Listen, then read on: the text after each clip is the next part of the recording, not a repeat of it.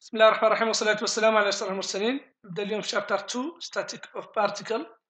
بال lecture 2 1 نشوف ال introduction resultant of two force وال vectors الهدف من هذا ال chapter هو ندرس إيش؟ تأثير مجموعة قوى على جسيم أو particle.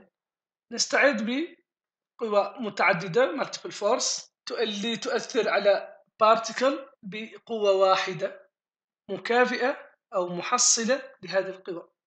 ندرس العلاقة فيما بين ال force acting on a particle في حالة التوازن. ال particle لا تعني أنه الجسيم صغير جدا وإنما تعني أنه الحجم تبعه والشكل تبعه أنه ما لهم أي تأثير بحيث أنه كل القوى المؤثرة على هذا الجسم نفترض أنها تؤثر في نفس النقطة.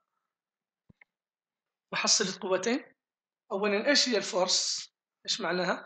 action of one body on another. تأثير جسم على آخر. تتميز بإيش؟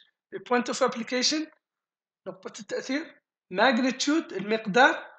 10 pound 10 نيوتن line of action خط التأثير اللي هو موجود عندنا هنا بخط متقطع. أو والاتجاه اللي هو موجود عندنا هنا بهذا الاتجاه. اتجاه القوة. المحصلة قوتين وجد تجريبيا أنه إذا كان عندي مركبة قوتين ممكن أن نمثل عنها بإيش؟ بقوة واحدة عندي هنا ال P وعندي ال Q ممكن نمثل عنها بال R محصلة هذه القوى هي مكافئة لإيش؟ ل diagonal قطر إيش؟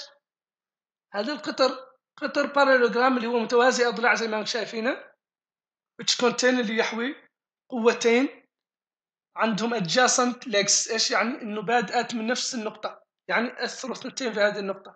ال force هي بالحقيقة متجه. إيش هو المتجه؟ هو ال parameter بس اللي يمتلك magnitude و direction ويمكن نضيف أن نجمعهم بطريقة ال parallelogram لو parallelogram لو اللي هي موجودة عندي هنا. ال P هذه موازية لهذا الخط وال Q موازية لهذا الخط. كمل. يجيك متوازي اضلاع ال diagonal تبعه هو ال P plus Q مثال على ال vector الانتقال من نقطة إلى نقطة هو متجه لأنه اتجاه الانتقال مهم وال acceleration التسارع والسرعة. إيش يعني ال scalar وال parameter اللي يمتلك magnitude but not direction. لاحظ هنا عندي direction but هنا ما عندي direction. مثال الكتلة الحجم ودرجة الحرارة.